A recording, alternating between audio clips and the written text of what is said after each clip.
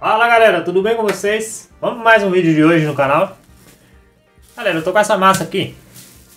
Ela equivale a 500 gramas de farinha. vou deixar a receita na descrição tudo certinho para vocês.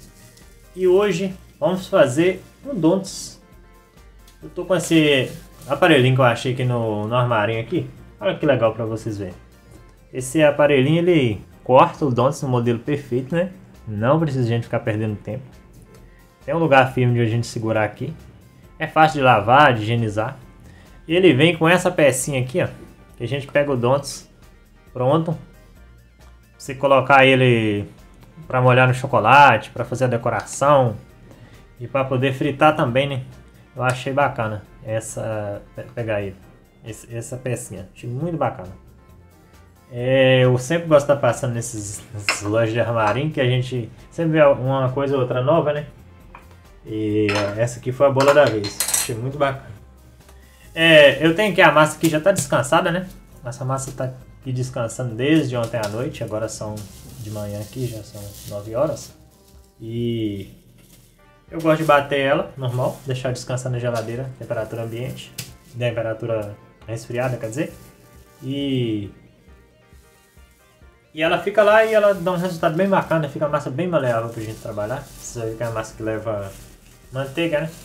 Essa massa que leva manteiga, normalmente você põe na geladeira, ela dá aquela pausa na fermentação, fica com uma textura legal quando a gente vai modelar ela e, e fazer depois. Eu vou estar tá modelando aqui, essa mesma massa a gente vai estar tá fazendo sonho, ou a gente pode estar tá fazendo sonho também, pode estar tá fazendo o Don'ts também, tá bom? É... A modelagem aqui, galera, é muito simples. Com esse, com esse aparelho ali melhorou, melhorou demais nossa vida, né?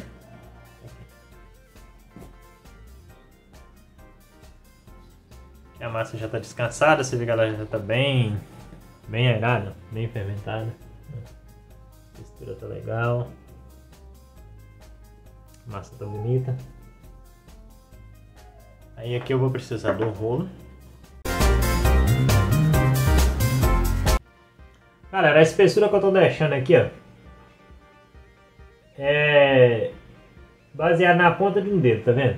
Menos um meio centímetro, tecnicamente falando. Aí, acontece, se a gente pegar a massa e corta agora, ela vai ficar aquela massa voltando. Aí tem uma... A gente tem que deixar ela descansar um pouquinho aqui aberta o glúten poder acomodar as propriedades dele aqui, não ficar voltando e a massa ficar perfeita depois, tá? Eu vou deixar descansando aqui uns 10 minutos tampado com plástico. Em seguida a gente vai estar tá cortando, mostrando para vocês.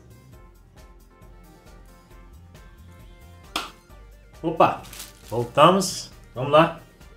A massa agora já está descansada.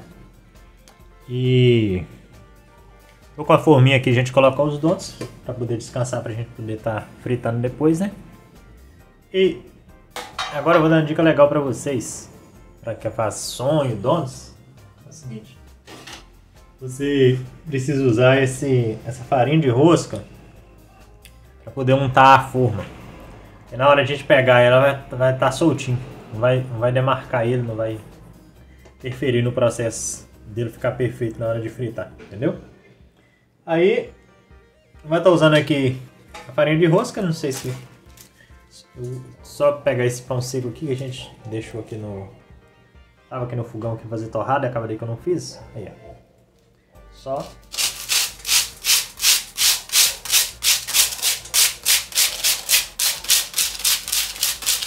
Só você ralar, você vai ter farinha de rosca igualmente, ó qualidade, tá bom?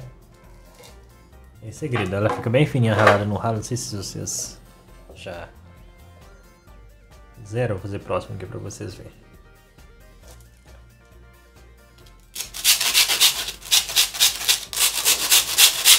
Fica bem fininha, bem prática. Não precisa nem de você comprar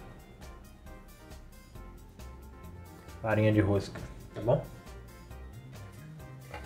Então é isso, primeiro já vai estar untando aqui, ó. Agora com o aparelhinho mágico vai ser fácil, né? A gente fazer nossos todos. É só. Vou tirar aqui da frente para vocês verem lá. só cortar.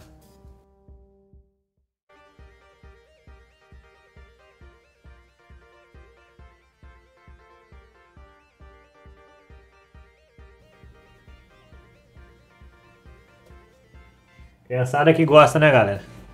Mexer com massa. Se meu menino tivesse aqui, ó, já ia fazer a festa com a massinha. Já ia fazer bolinha, fazer um monte de coisa. Hoje ele vai chegar vai estar tá pronto aqui. Aí, ó, maravilha. Agora vou cobrir com plástico. Deixar acabar de fermentar que vai durar em torno dos 30 minutos. Temperatura hoje aqui tá bem fria. E acabar de pegar um volumezinho a gente vai fritar, beleza? Galera, vamos lá. Para fritura aqui é bem simples. Temperatura em torno de 170 graus, 3 minutos, 1 minuto de cada lado. O primeiro lado fica mais clarinho, você repete ele e fica perfeito, tá bom? Em seguida você deixa escorrer no papel ou no escorredor mesmo e fica pronto para modelagem. Aí aguarda esfriar prepara a cobertura. Cobertura aqui, eu estou usando chocolate, fiz um ganachezinho com creme de leite e um bico de colher de manteiga, né? Derrete a banho-maria, mistura bem, ele fica bem cremoso, bem brilhante, bem bonito assim. E fiz também para colocar embaixo, eu coloquei um ganachezinho com chocolate branco e paçoca de amendoim. Meu menino adora também, para ficar um pouquinho crocante, tá bom? A mesma paçoquinha que eu joguei por cima do, do chocolate aí, dessa decoração, que é o que eu tinha aqui em casa para apresentar para vocês. Mas você pode estar tá fazendo de morango, pode estar tá colorindo com a criançada aí, etc. A textura fica bem bacana, tá dando para vocês ver aí. Agora eu vou estar tá falando os ingredientes para você que eu usei na massa.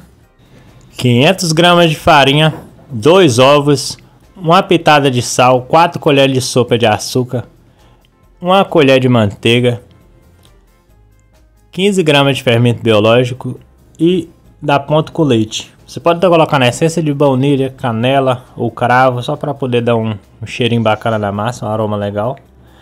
E é isso, galera.